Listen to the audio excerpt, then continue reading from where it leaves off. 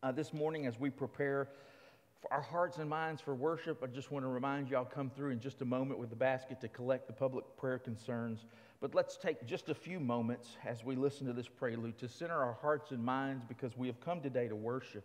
God is the audience of our worship, and so let us prepare ourselves, our hearts, souls, and minds as we join together to lift praise on high to our Almighty God.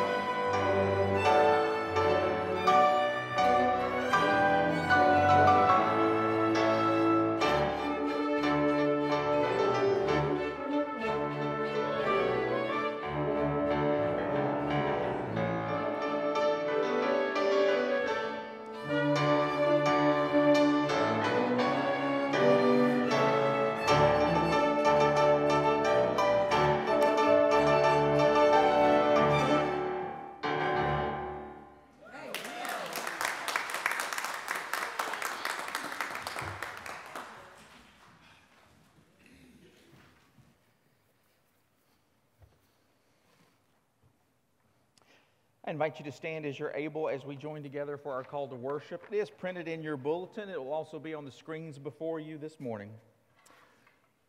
Today is a day of rejoicing. Oh, come on now. That didn't sound like y'all are very celebratory. Take two. All right. Today is a day of rejoicing. Jesus offers us a plan of action.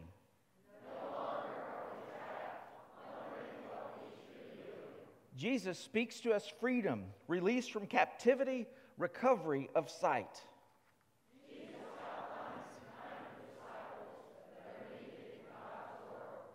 Amen. Please remain standing as you are able for our opening hymn, The Church's One Foundation, number 545 in your hymnal. And please remain standing for the Psalter immediately following, number 545.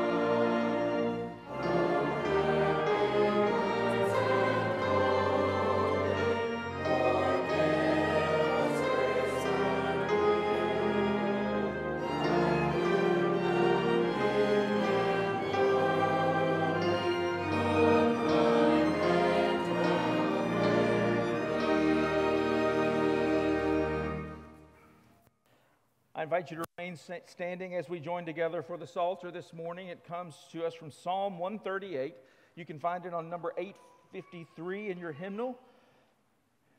Let us join our hearts together as, and our voices as we share in this morning's Psalter.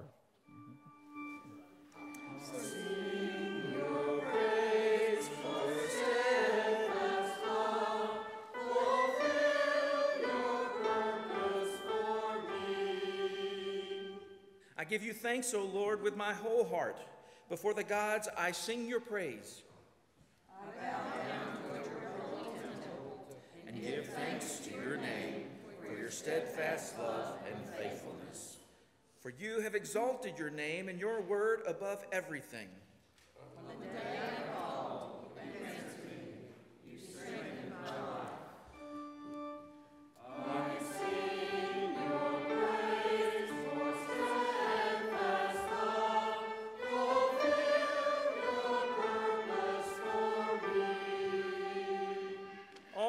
Rulers of the earth shall praise you, O Lord. And they shall sing of the ways of the Lord. For great is the glory of the Lord. For the Lord is high, but regards the lowly.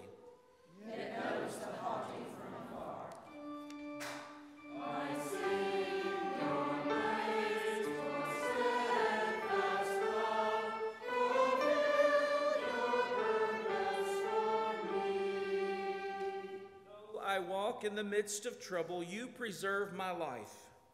You stretch out your hand against the wrath of my enemies, and your right hand delivers me. O Lord, fulfill your purpose for me. O Lord, may your steadfast love endure forever. Do not forsake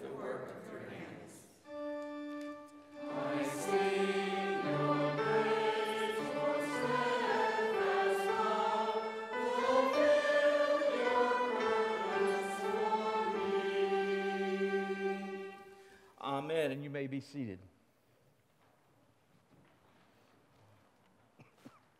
Excuse me just a moment.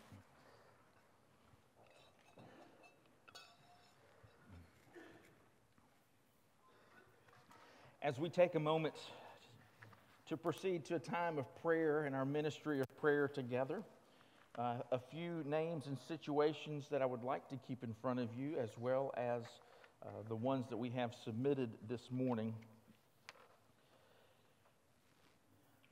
I'm going to invite you uh, just to take a moment of, of open, opening up our posture this morning. So if you're leaning forward, just kind of relax, take a deep breath, and I want to invite you as you hear the names and situations that are before you, if there are any that uh, really stick to uh, the ribs of your soul, you know, like peanut butter does.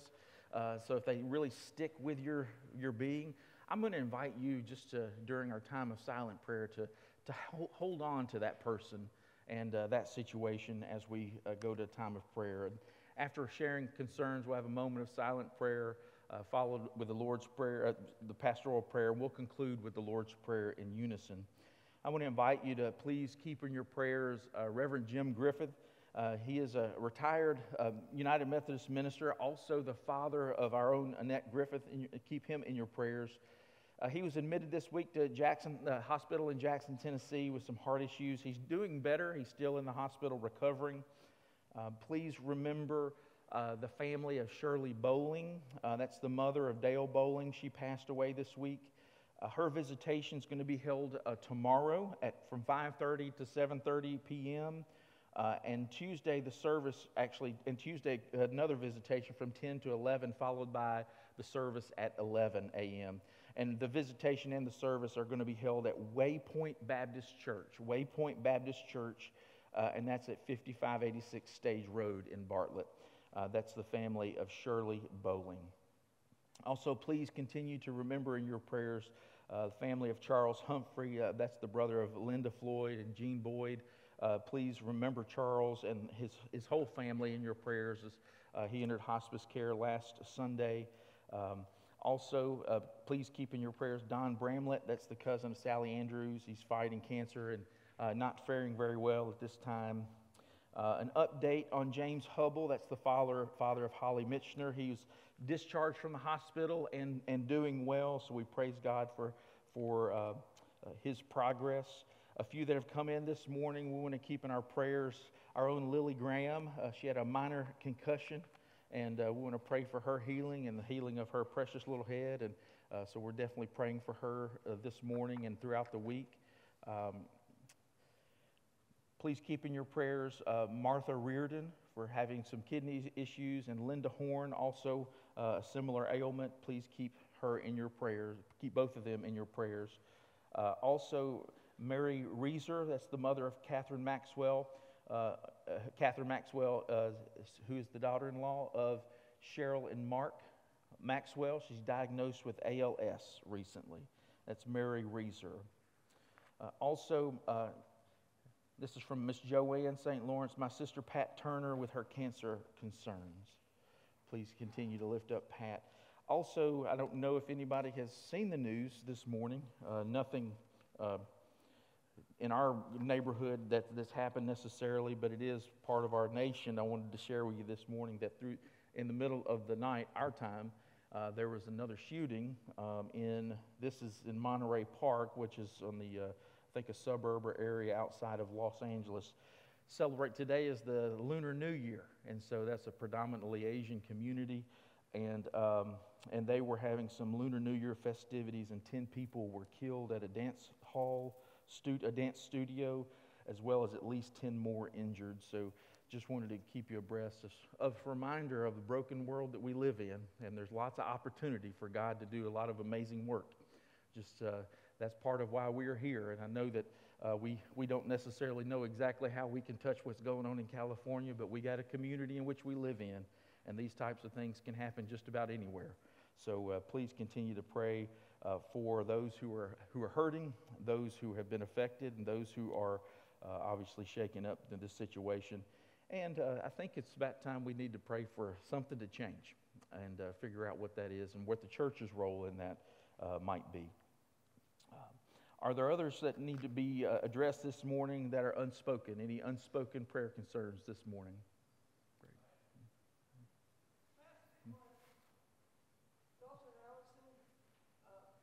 Is it? No. Yes. Oh no.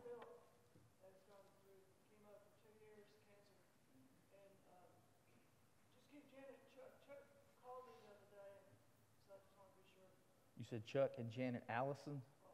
And their granddaughter. She's three year old, three years old, and is in hospice care. Thank you, Fred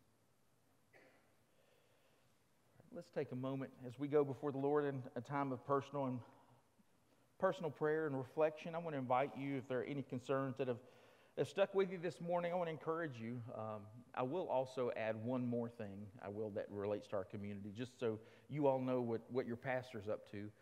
Um, I, I, do want to ask you to be in prayer for our community. Um, uh, as many of you may have heard through the news, uh, uh, there was a uh, particularly a uh, a death at the hands or in the custody with a, with a person, Tyre. Uh, his name is Tyre, who was, uh, uh, died in police custody. Uh, and the officers were fired late Friday, or it was announced late, late Friday. I was invited yesterday to be a part of a meeting in South Memphis with a handful of other pastors to meet with the Department of Justice Community Relations Department or Community Relations Services and these are folks who aren't DOJ necessarily in the, in the aspect of law enforcement or anything like that. These are folks who are called in uh, to really help develop conversations and dialogue to keep things in the community from blowing up. Uh, they're sort of peacemakers. And, and so they have been called in, and I was invited to be a part of that. But so I do want to uh, let you know um, to please be in prayer for our, our community as well, because there's as we all know, there's lots of healing that is needed in our world, and I just uh, wanted to, to let you know uh, of what was what what I was up to, but also sort of what's going on. And this is in this is in response to um, the death of Tyre Nichols and uh, how that happened with the Memphis Police Department. So uh, just wanted to, uh, to let you know and keep you apprised and remind you of the need, needs that we have here in our own community. Uh, let's go before the Lord for a time of personal and silent prayer, and uh, we'll come together for the pastoral prayer, and uh, then we'll conclude by reciting the Lord's Prayer in unison.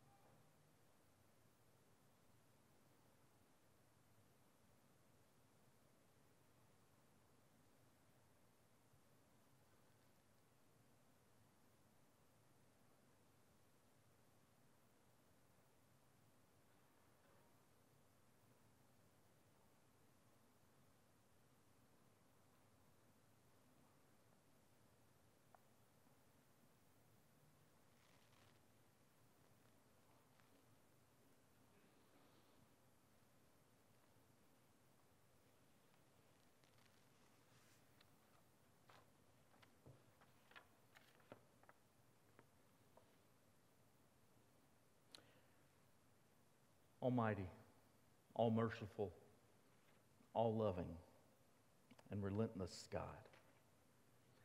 We give you thanks for this day in which we are able to gather together and share our joys and concerns. As we enter this space today, uh, we thank you for meeting us here. We thank you for the opportunity that we have to lift our voices in praise, to see one another's smiling faces, to celebrate your great love for each and every one. As we have joined our, our, ourselves and our spirits and our voices together this morning, uh, we just take a moment to come before you in this time of prayer really just wanting to be reminded of what it's like to sit in your presence. There's so much around us, so many things that are going on, so many news stories and uh, concerns and stressors in our life that sometimes those can overwhelm what we are able to hear deep down in our soul. So, even in these moments of silence, Lord, we ask that you would speak. Because we come together today to celebrate and to worship you, but we also come and gather ourselves so that we may listen for you. Listen for the words that you speak into our life.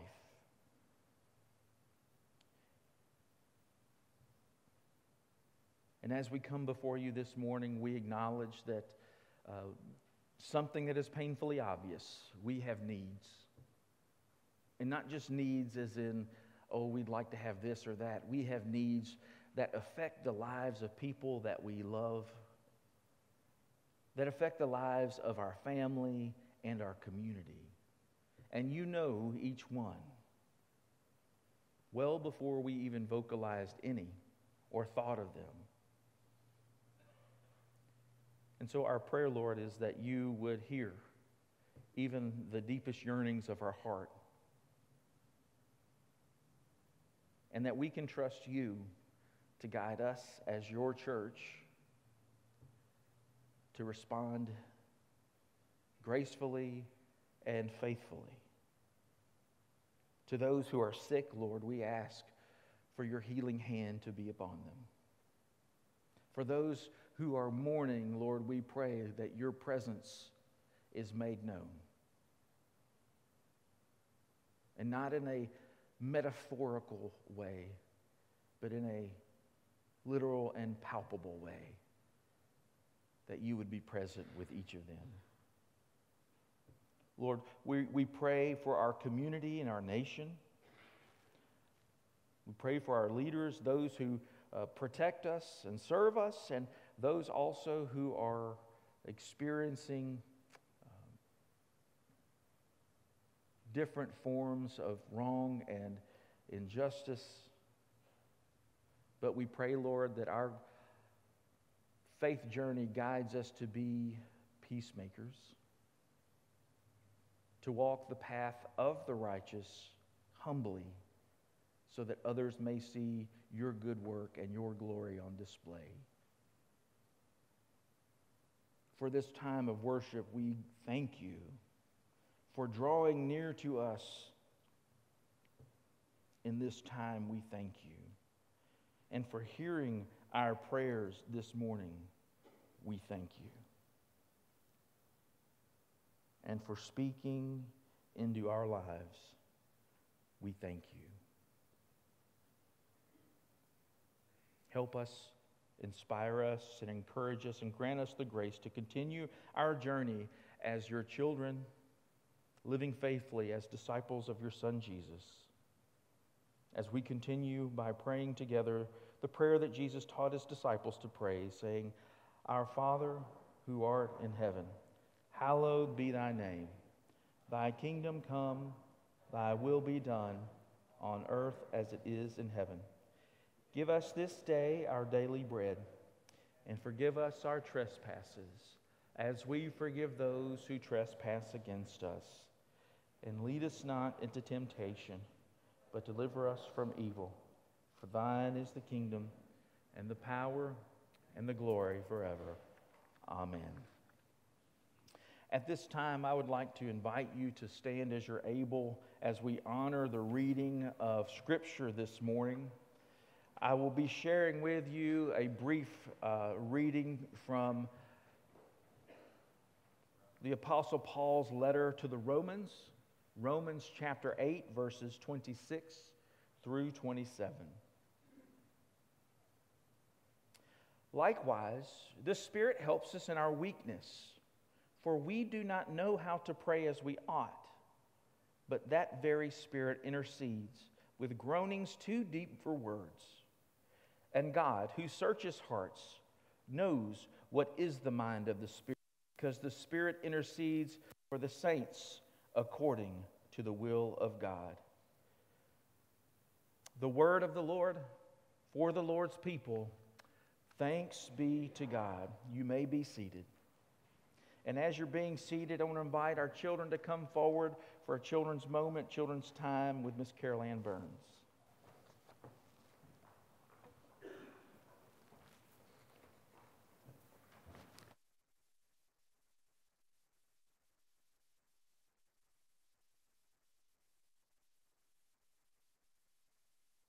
Wow. There's not much room, is there? That's wonderful. How are y'all? Doing okay? Good, good. Well, we're going to talk. Let's see. I think I'm going to sit right here so I'm not in your way. So you can see me and I can see each one of you, okay? And here's even more. Look, we're going to talk about praying with the Holy Spirit.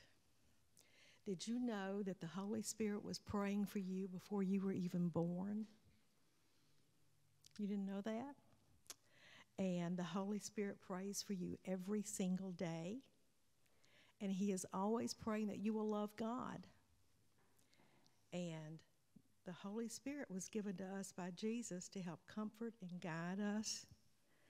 And He helps us in ways that are always leading us to God. And one of those really big ways he helps us is in prayer, in praying. Do you pray every day? No. Hmm. Yeah, most days. Most days you do. When you pray, do, do you pray at night when you go to bed? You know? Sometimes. Do, do you pray once a week? Yeah, every day at church, that's once a week, okay? That's good. That's good that you're praying then. That's good. Uh, why, why don't you pray every day?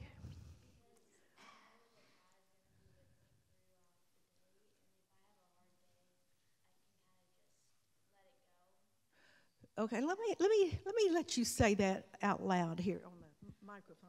I know that God is with me every day. So if I have like a hard day, I know I can just let it go because He's going to be there with me. So you don't feel like you need to pray every day? Okay. Depending on what it is. Okay.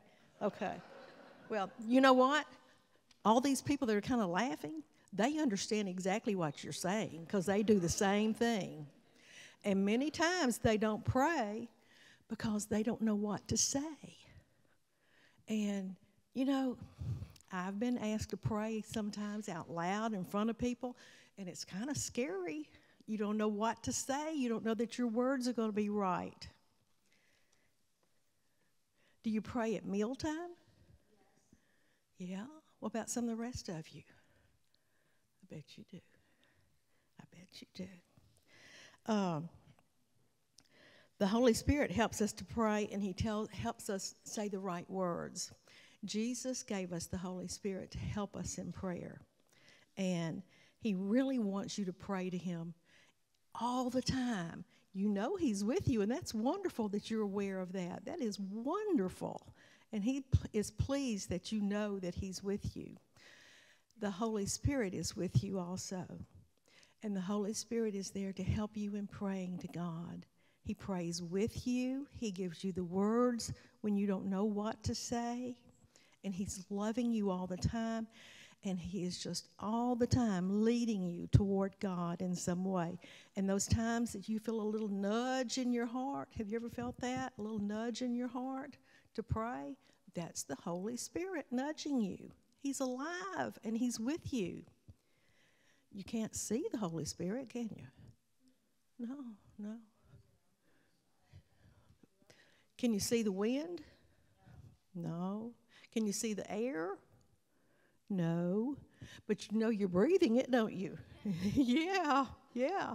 And you see the, the results of the blowing wind, don't you? When the leaves are moving. Sometimes people refer to the Holy Spirit like the wind. He's always just around and, and around us all the time, moving around. But He is there, and He is there to comfort you and to help you all the time. So I want you to remember that, and I want you to remember that for the rest of your life, okay? This is a big thing to remember and very important. So let's pray a minute, okay? And I'm going to ask the Holy Spirit to give me the right words to say right now. Father, I pray and ask you to be with these children to woo them into your kingdom, to bless them, to give them the knowledge and the desire to call upon your name, and for your Holy Spirit to always, always woo them closer and closer to you. May they know that they have a pathway to praying to you through your Holy Spirit. In Christ's name, amen.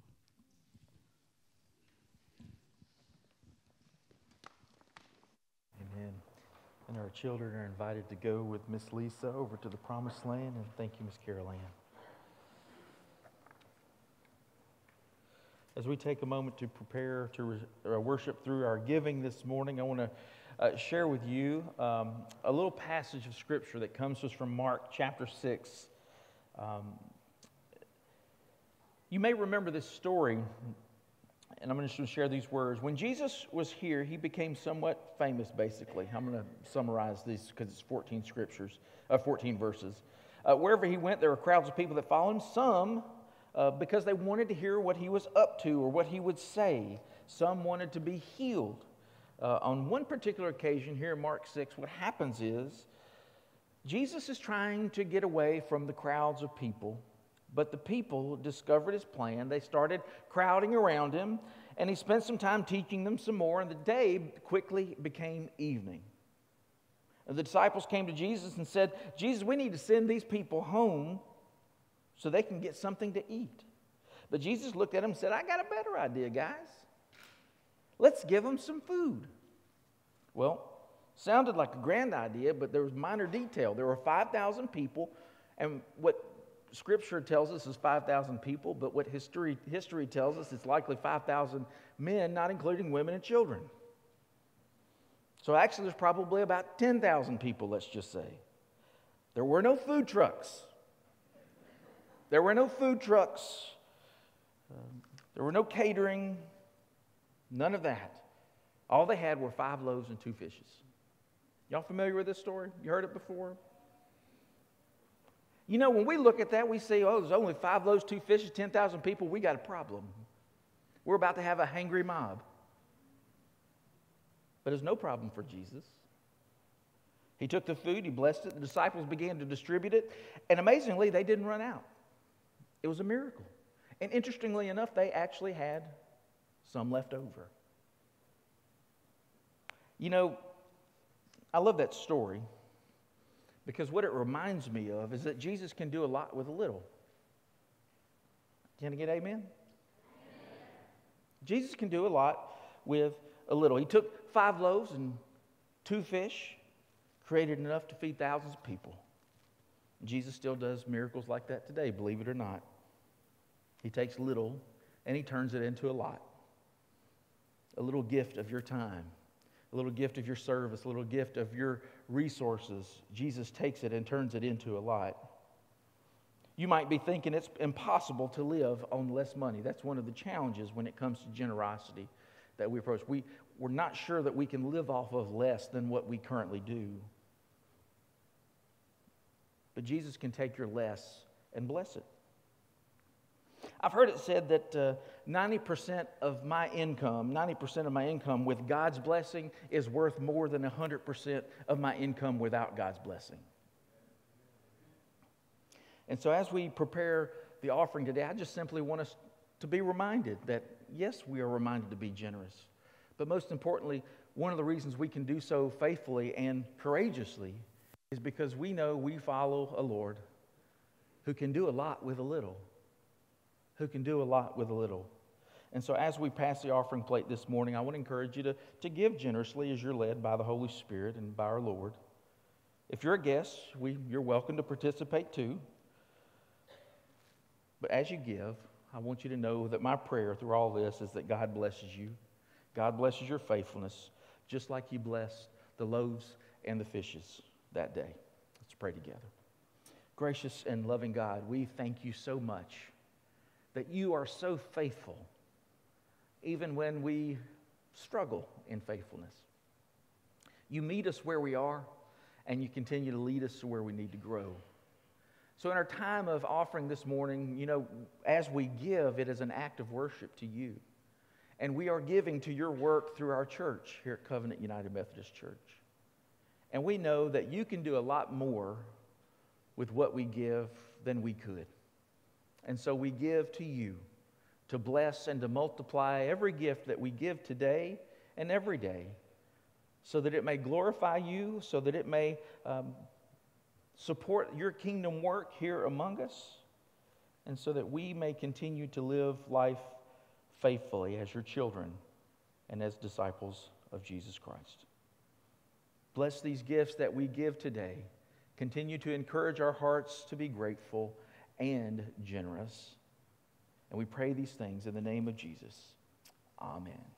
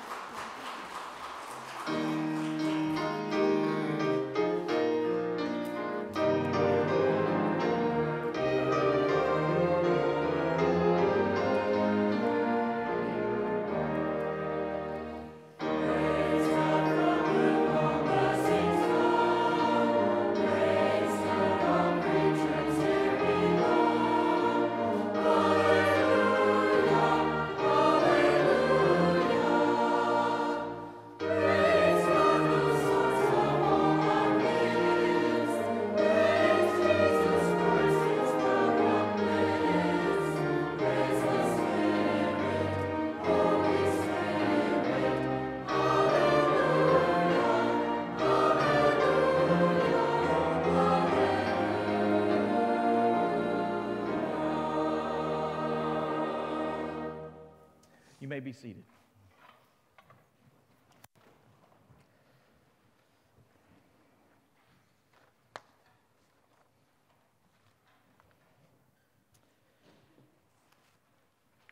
Well, today we are wrapping up uh, a little three part series uh, called It's Time. We've been uh, discussing, looking at sort of a couple of, um, for lack of a better word, a vision focus for this coming year, those three parts, those three P's. Uh, all right, so we got it right. Everybody know the three P's are? But you did have some homework from last week, didn't you? You did? Some of you are like, oh my goodness. And the dog couldn't eat it. So all right, so here's what we're going to do. I, so last week I challenged you, I challenged you uh, to memorize what? The mission of our church. And some of y'all who didn't do it, y'all are like, y'all be quiet. y'all be quiet. So here, I'd like for us, uh, do y'all want to say it together? would you just like to tell your neighbor? All right, we can take Say it together, I'll raise your hand. All right, say it to your neighbor. Raise your hand. All right, we're going to say it together. Nobody wanted to be put on the spot, did they? All right, so let's say our mission statement, our mission here, why we exist here at Covenant United Methodist Church, here we go, is to make new disciples of Jesus Christ for the transformation of the world. All right, uh, so for, for you, I, I want you, I, I seriously, and I'm not trying to be cheesy about this, but this is important for us. This is important for each of us. Because if it's not in here, it may not ever make it here. Okay? And so I'm not trying to hound you, but it is important to our work together as a church that we truly understand why we exist as a congregation of disciples of Jesus. Okay? Who just happen to be United Methodist flavored okay? All right, so that is that's who we are. And so as we look for the three P's, we're looking at starting this new year, and we say it's time because as Jesus would often say in, in, in the Gospels, it's recorded saying it's time, and that word for time was actually a divine appointed season.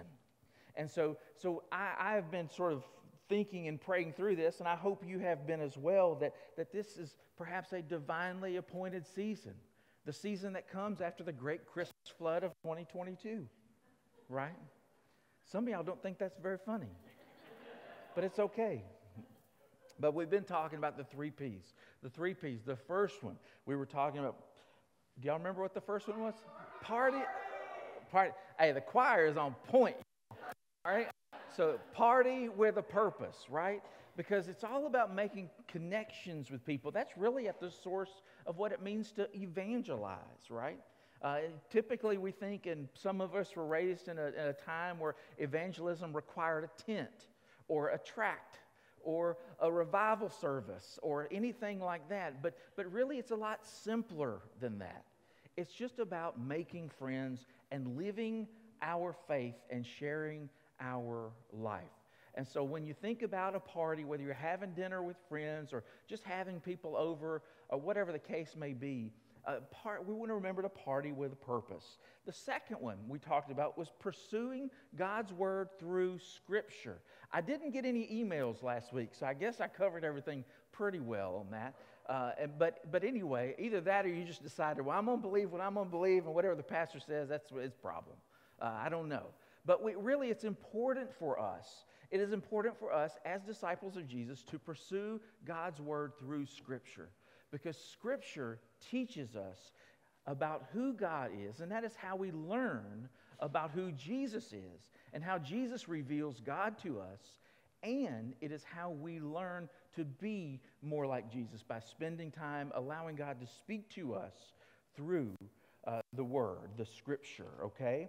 And so that was, so we're pursuing God's Word. And we talked about the reading plan. We're reading the New Testament together. All right, I don't want to put anybody on the spot, but who's actually doing the reading? Awesome. This is great. Wow, that's way more than I thought. you guys are awesome. And so we're starting. So if you have not started on that, you're like wondering what what are we talking about? We have a very simple reading plan. It, it is truly built for the 21st century. Okay, because it's five days a week. Reading through the whole New Testament together in a year, five days or five days a week. So you got your weekends to take off or make up. Uh, and it's 51 weeks. So you do get a week of vacation, okay? So, so really, what I want to encourage you to do, if you have not started that, I really would like to encourage you to do that. Uh, it's been really easy for me uh, because I sort of uploaded all that. Um, I have the PDF. Somebody asked for the PDF, and I was like, you know, I should just probably keep that on my phone. And that way, whether I'm sitting, because I have a couple different things that I do, and I can still be faithful to the reading plan by keeping it and using YouVersion on my phone, that sort of thing. So you figure out what works best for you. But it's always good to have some time to sit down and just sort of reflect on what Scripture is saying and some big aha moments. So I want to invite you to do that. So the third P that we're going to talk about today is praying with the Spirit. Praying with the Spirit. Now, if you were back with us back in the fall, uh, you remember we spent about a month talking about prayer. Uh, we spent a month in our worship services on a series entitled Airplane Mode.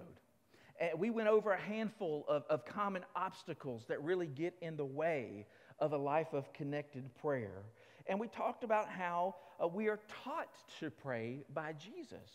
And, and, we, one of the reasons why we continue to say uh, the Lord's Prayer, uh, which I really think it should be renamed the Disciples' Prayer, uh, because it's the prayer that Jesus told his disciples to pray, uh, is that, you know, we, we say it every Sunday in large part because so it can get in us, right? It can get in us. And there are themes of that that can guide us in our life of prayer. And we talked about that tool. Uh, that we have that tool. It's a hexagon, right? The six sides or six themes of the Lord's Prayer. And, and, and so prayer, though, if we could, I just want to refresh in this, refresh in this idea, this understanding. Prayer is about practicing the presence, practicing presence with God, and not simply asking for presents from God. Okay? Remember that prayer is about practicing presence with God and not simply asking for presents from God. And that's presence, the first one with a C, the second one with a TS. God is not a genie. A life of connected prayer, as we said, requires persistence on our part to keep that connection going, not based on outcomes in our life, but upon a faithful commitment to the relationship. And that final piece that we talked about, one of those, one of those hurdles is that humility, exercising humility. We don't want to approach prayer from a sense of entitlement, but we approach prayer from a place of humility. And so then we looked at the Lord's Prayer as that pattern. And, and there was a part uh, where we talked about God's kingdom coming, that God's kingdom coming on earth. He want God's will to be done on earth as it is in heaven. And we pray that we want God's kingdom to spill over and consume things on earth. That's really at the heart of that prayer. We want that heavenly culture. You know, sometimes you hear people say, we want the up there culture to make it down here, that heavenly culture down here, that kingdom culture, and we want it to saturate our world. I, I don't think we, we think about that enough as a church. But the idea of salvation is not just a personal journey, it is a communal effort so that the kingdom of God may saturate the earth.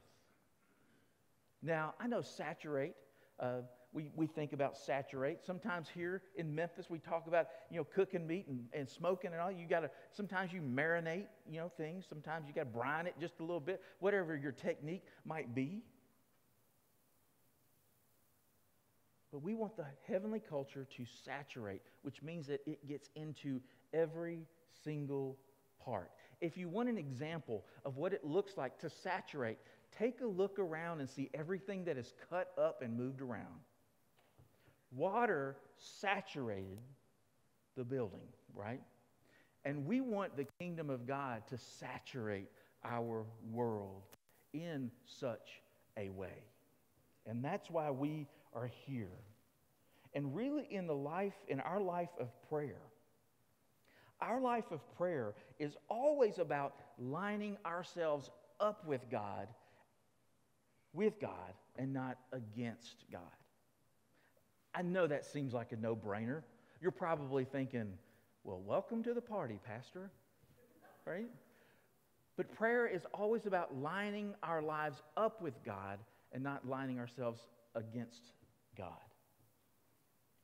Which is what we mean when we say praying with the Spirit. Praying in such a way that we are praying the same things that the Spirit is praying on our behalf. Just think about this. You don't have to raise your hand.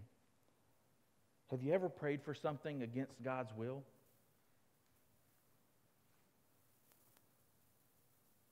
I, am going to confess to you that I have. Have you ever prayed for something that was against God's desire for your life?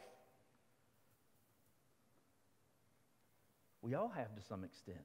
And I know you may not be thinking, I don't, I don't know if I have ever. What about that kicker that you prayed for? Oh, God, please help him make that field goal right? I know that's a silly example. Oh, God, please let him make these free throws. But the reality is, is that those, those are things that we want, but those aren't necessarily things that we really believe. It, it, it, it gets really tricky because I think there are more, more um, weightier topics when it comes to God's will and God's kingdom than free, free throws and field goals.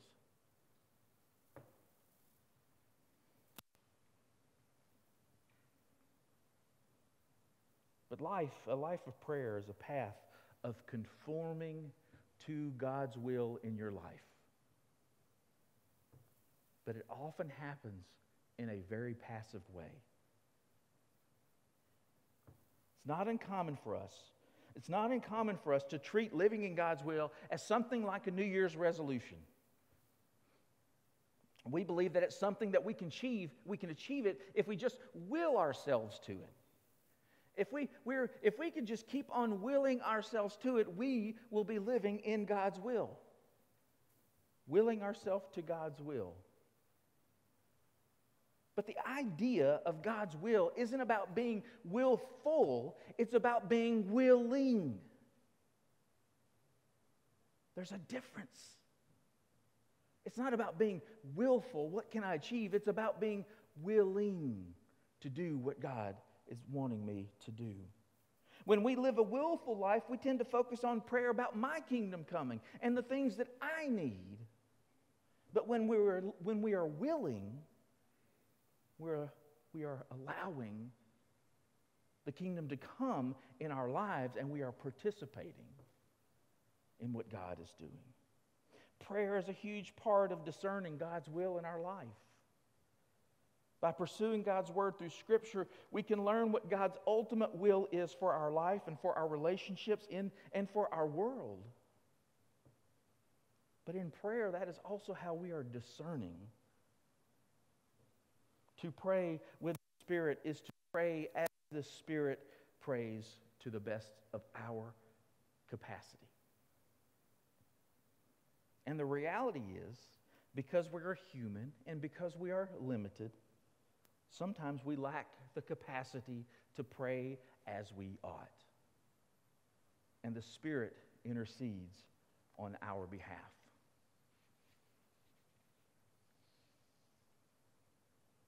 The Apostle Paul writes to the church in Rome what we just read a minute ago. The Spirit helps us in our weakness, and that very Spirit intercedes with sighs that are too deep for words. You ever had a time where you needed to pray and wanted to pray but just had no words to pray? That's still prayer. That is still prayer. God, who searches the heart, knows what's in the mind of the Spirit because the Spirit intercedes for the saints according to God's will. And so, actually, we pray a little bit better when we keep our mouth shut, evidently.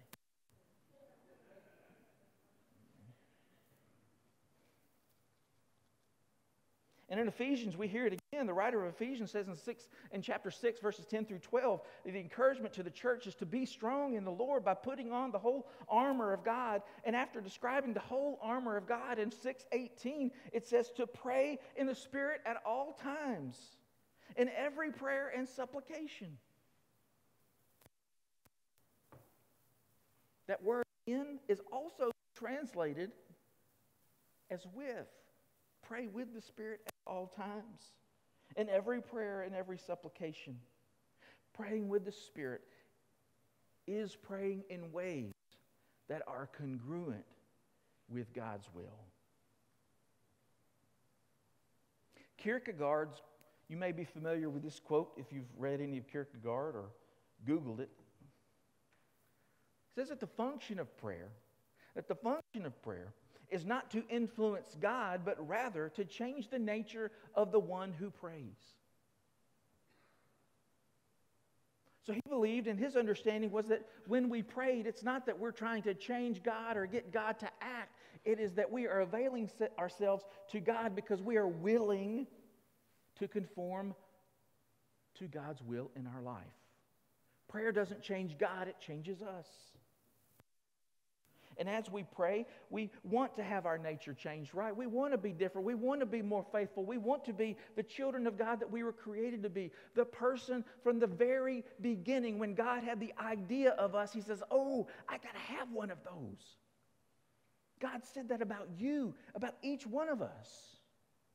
But somewhere along the line, we got, we got our lives were touched by sin and touched by the brokenness of the world. And, and so we want to get back to that original glory. Am I right? And we want every single person to get back to that original glory. Am I right?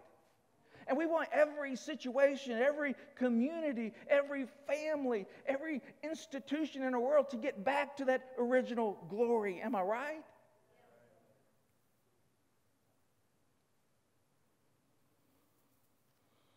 We pray so that we have our nature changed and we can get back to that original glory because that is how our lives change through prayer.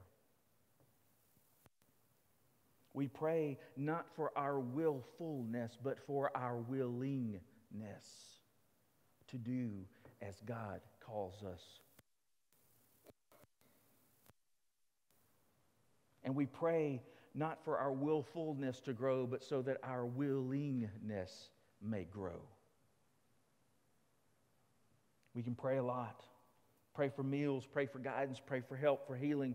But how often do we sit in silence and surrender prayer to the will of God in our life?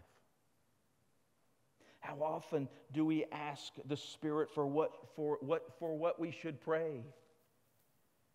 And follow that lead. When we pray, we often spend more time in the navigator's chair, right?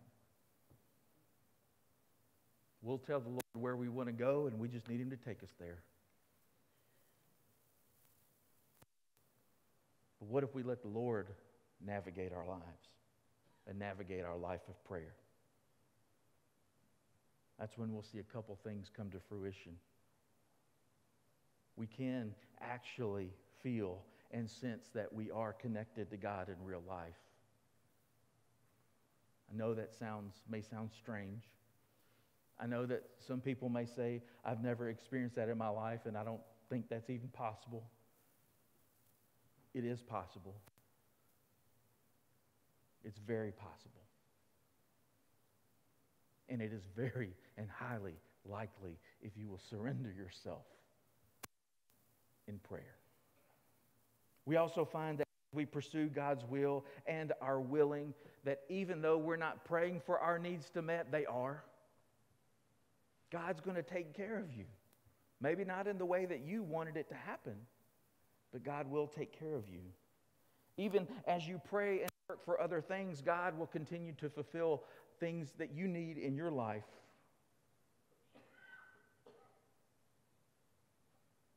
And then we actually become more aware of how the Holy Spirit is moving and working around us. And we can point it out through testimony, sharing that with other folks, and even participate in what God is doing in our world. Because I think there's, there's a place where the church, we say that, oh, these, our, our, our, neighborhoods are, are just people are struggling and we need to go do. So we rally up the troops and we go do what we want to do in those neighborhoods. But if we're praying, and if we're praying with the Spirit, we will find ways in which the Spirit is already at work. all around us in our neighborhoods, friendships, and families, and we have the opportunity to participate with what's already going on as opposed, as, as opposed to pretending like we knew the agenda from the beginning. Because at the end of the day, it's not the church doesn't have its own agenda. The church has God's agenda. Where we run into problems is where the church thinks that their agenda is God's agenda. We are all about God's agenda. That is what we are called to be. And so, through a life of prayer and praying with the Spirit, we are more easily attuned to what God and how God is moving and leading us as a church, as individuals, and as faithful disciples of Jesus Christ. Now what? We, we've got these three things we've been talking about, and we know we need to pray. We know we need to read Scripture. We know we need to party. We got that. Now what? Well, this is the fun part where the pastor sits up front and says, Now go and do it, right? Just have fun, go and do. Well, it's going to take us some time. Because I guarantee you, I've probably said something, or the Lord has probably said something to you through these three weeks that you may be thinking, what in the world does that even look like? That is so foreign and so different as to my understanding of how church works. Well, here's the answer I don't know. Right? Don't. But I know the one who does know. I know the one who does. But I believe that if we begin to personally begin devoting at least a small portion of our time each day to quieting our mind and body and soul and simply surrendering those moments to God and God's presence with us, that the Holy Spirit will guide us, shape us, and show us what our next steps are as individuals and as a congregation. I believe that, that if we continue to pursue God's word through Scripture together, that the Holy Spirit will work in and through our church and through our lives to show us what we need to do next and how God is firming up our next steps together. And I believe that if we party with a purpose, if we are intentional about connecting with people who are, are already not in our church friend group, that there might be some folks who really need what we have and what we've been able to experience in our life with God and the things that we are going to experience in our life with God. I believe it wholeheartedly. And I hope that if you don't believe that now, I believe that you may sometime soon. And I hope that you do because God's got big plans for you.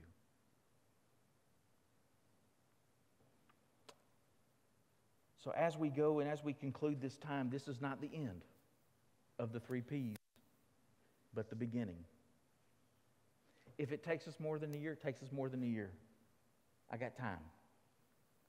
Lord willing.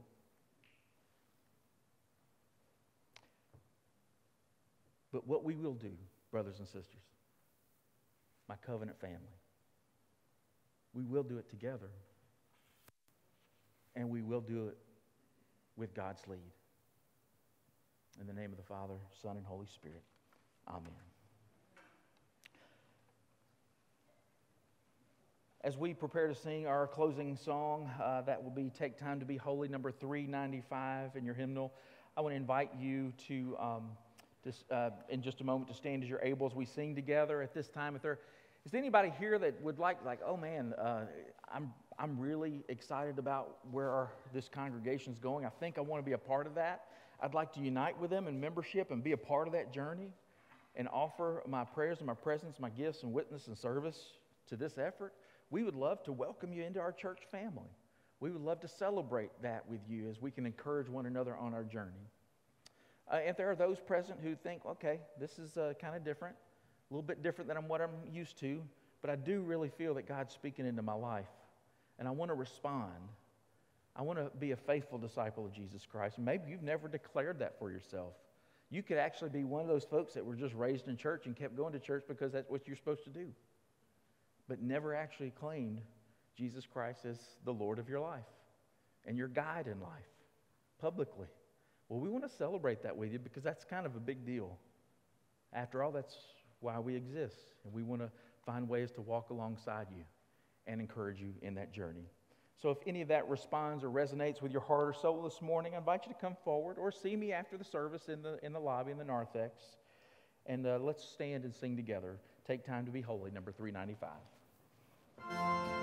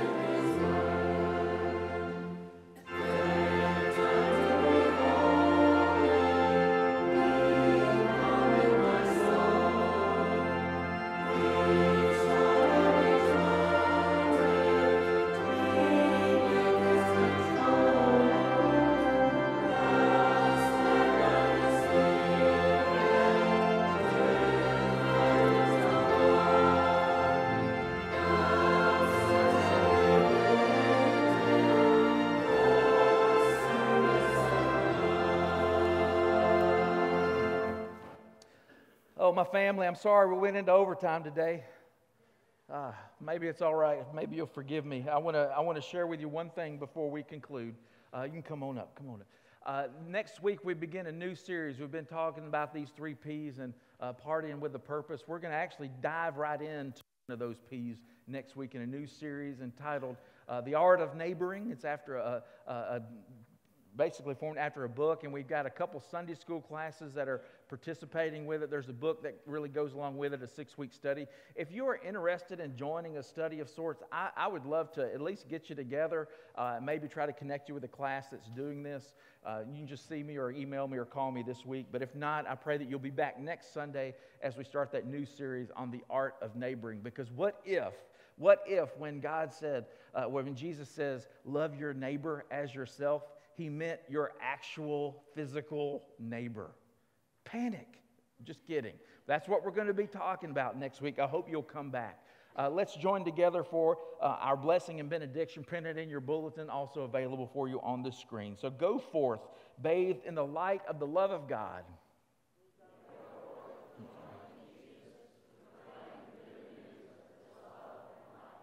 Now go forth empowered by the Spirit to live the way with courage, conviction, and joy. And all God's people said, Amen.